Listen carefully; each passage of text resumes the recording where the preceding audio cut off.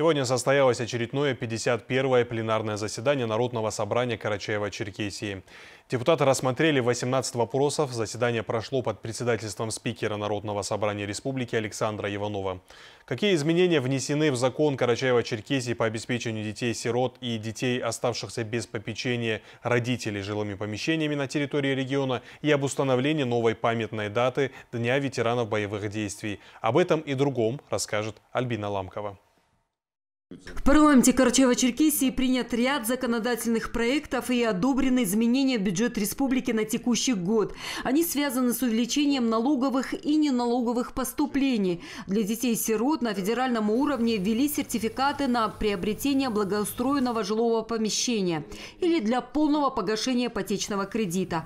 В связи с этим парламентарии обсудили внесение этого права и в закон нашей республики. Данный закон позволяет э, молодым семьям там, скажем, э, которые представляют дети-сироты, э, вот, значит, достигшим именно 23 лет. Плюс это дает возможность использовать еще э, материнский капитал, потому что к 23 уже дети уже имеют детей и имеют возможность использовать. До этого такая возможность исключалась.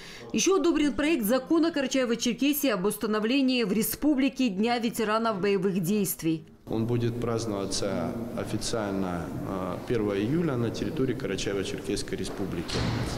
И хочу поблагодарить всех ребят, кто сейчас исполняет свой долг по защите интересов Возвращайтесь живыми, здоровыми к своим семьям. Введение отдельной памятной даты позволит объединить всех ветеранов боевых действий в республике.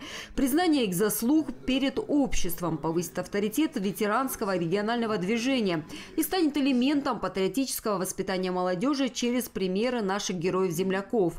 Одобрили на заседании постановление об учреждении молодежного парламента при Народном собрании республики. Кто может войти в состав молодежного парламента? Парламента.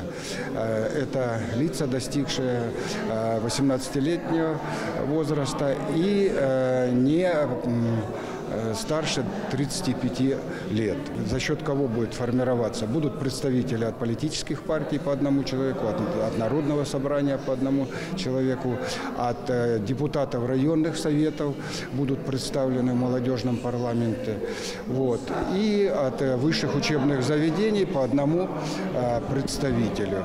Создание молодежного парламента связано с необходимостью повышения активности молодежи в общественно-политической жизни региона развития молодежного парламентаризма и содействия законодательной деятельности в области защиты прав и законных интересов.